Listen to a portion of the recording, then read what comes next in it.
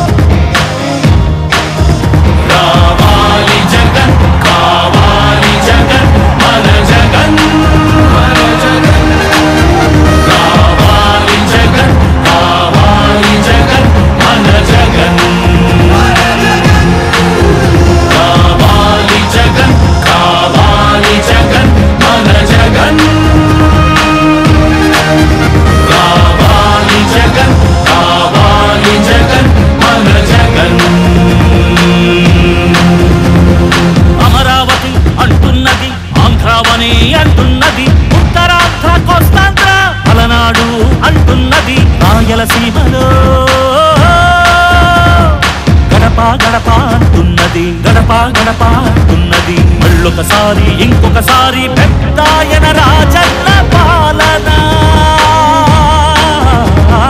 కన్నుల ముందుకు రావాలంటే కన్నుల పండుగ కావాలంటే ప్రజల గుండెలో ప్రతిధ్వనించే ప్రతి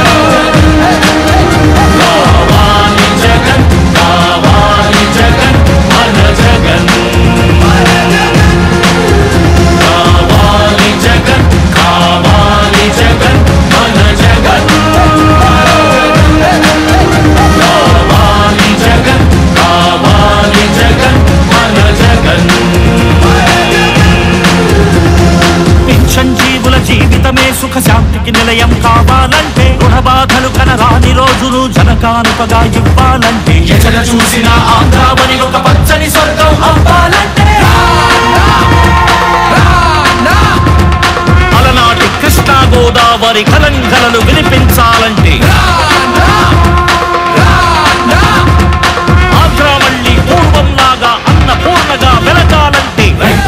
రైతుల పసిడి పంటల బంగారు కాంతులు మెరవాలంటే. రావాలి జగన్ కావాలి జగన్ మన జగన్ మన జగన్. రావాలి జగన్ కావాలి జగన్ మన జగన్. మహిళల మోమున సిరిసిరి మల్లెల చిరునవ్వులు తెరబూయాలంటే. యువకుల గుండెలు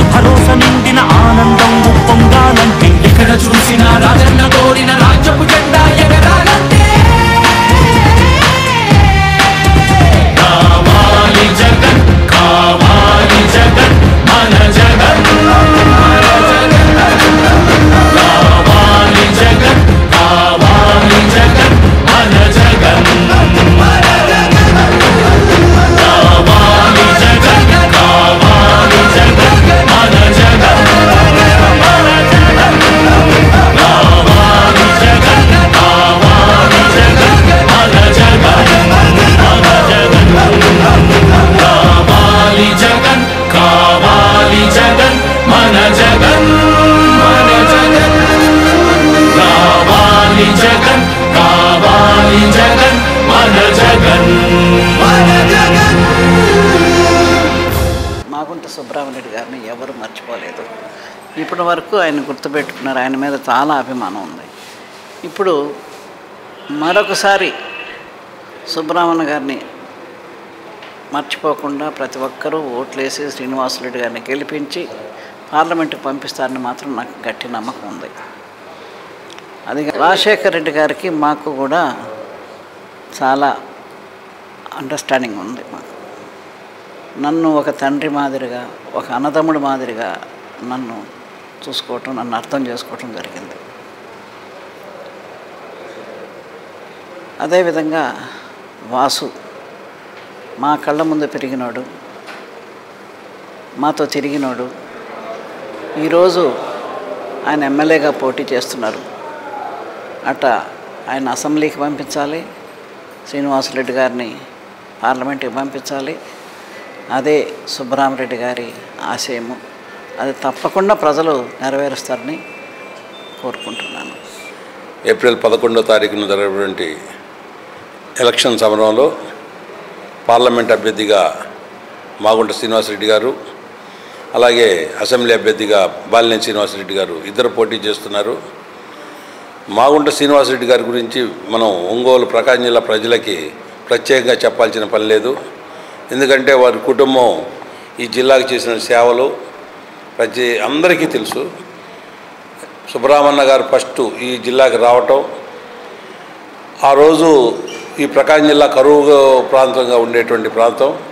అటువంటి ప్రభుత్వంతో పని లేకుండా తన సొంత నిధులతో ఇక్కడ ఈ జిల్లాని తాగునీటు సాగునీరు అలాగే విద్య. అనేక కాలేజీలు కట్టి డెవలప్ చేసినటువంటి గొప్ప వ్యక్తి మాగుంట కుటుంబం. అలాగే పార్వతమ్మ గారు ఆ తర్వాత నెక్స్ట్ ఆయన చనిపోయిన తర్వాత పార్వతమ్మ గారు రావటం. పార్వతమ్మ గారు కూడా సుబ్రహ్మణ్యకి ధీటుగా ఆ సేవా కార్యక్రమాలని కొనసాగించారు. తర్వాత మాగుంట శ్రీనివాసరెడ్డి గారు రావటం.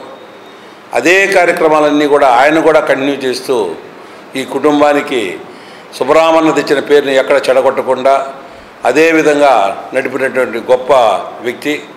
అలాంటి వ్యక్తి ఈరోజు మరలా వైఎస్ఆర్ కాంగ్రెస్ తరపున ఒంగోలు పార్లమెంట్కి పోటీ చేసి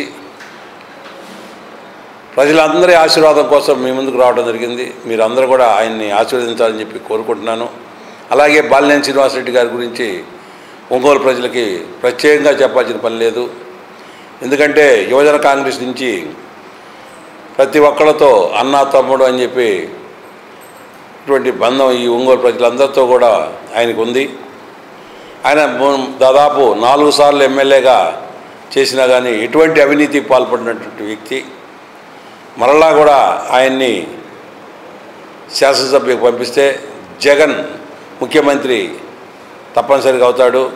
ఈ తడవ ఒంగోలు నియోజకవర్గంని ఒక మోడల్ టౌన్గా తీర్చిదిద్దే శక్తి బాలినేని శ్రీనివాసరెడ్డి గారికి అలాగే మాగుంట శ్రీనివాసరెడ్డి గారికి ఉందని చెప్పి తెలియజేస్తూ ప్రజలందరికీ కూడా తప్పనిసరిగా ఫ్యాన్ గుర్తు మీద ఓట్లేసి వారిద్దరిని ఆశీర్వదించాలని చెప్పి కోరుకుంటున్నాను.